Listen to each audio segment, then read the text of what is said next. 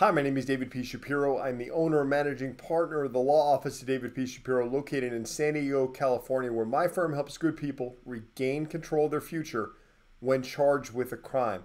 In this video, I want to talk to you specifically about felony arraignments and the value of making sure you have a quality criminal defense, locally experienced criminal defense law firm by your side starting at the first court appearance.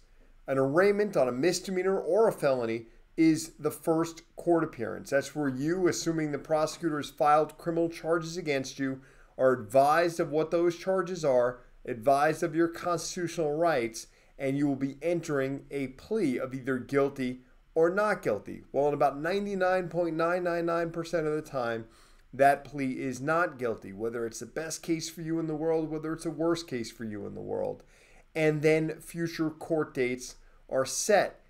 If you or a loved one wind up being in custody, meaning currently incarcerated or out of custody, and a prosecutor or a judge is considering raising your bail, putting you back into custody, it is even more valuable to make sure that you have the right team, the right attorney by your side at that first court appearance who will be able to have already met with you, already flushed out some of the issues in the case, already established a game plan moving forward.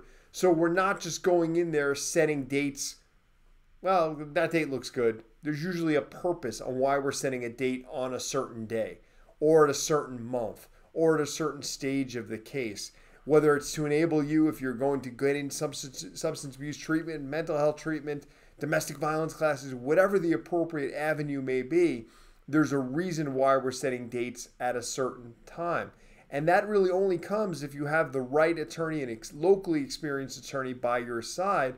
Also, who could get very creative. He or she could get very creative in the reasons why we're putting things out, setting things on a certain day, making sure we have a handle on our own individual calendars so we could give your case the attention obviously it needs to continue to represent you at as high, if not a higher level, than any firm in San Diego can. Another factor is let's say you have a situation where you're in jail or a loved one, your brother, your father, your, your mom, your, your sister, who, your girlfriend, whoever, and it's a really, really high bail amount. So the family makes the decision hey, I'm not going to bail this person out. Let's see what happens at the arraignment. Well, okay, that's a that's a logical decision a lot of times, but without a plan in place, without the right attorney by your loved one's side, it's really not much of a plan, right? It's sort of a guess and a hope. Well, I hope the bail gets lowered, but what are we really doing to, to effectuate that? What are we going to do to give yourself or your loved one the best chance to get their bail lowered to establish a plan? I had a case the other day in, in July of 2022 where a client was in jail on, on a really high bail. We were able to get them a referral to CPAC. CPAC is house arrest, home detention. They're allowed to going to be they're going to be allowed to be released without having to post bond, without having to post what would have been about 15, 16, 17,000 dollars to a bail bondsman. They should be released within a couple of days to house arrest. Not only did they save that money that they're not going to have to pay in bail, they're now going to be able to get custody credits for the time that they're on house arrest. So, assuming the case results in a conviction, they will be accumulating credits off whatever sentence they receive for basically being at home.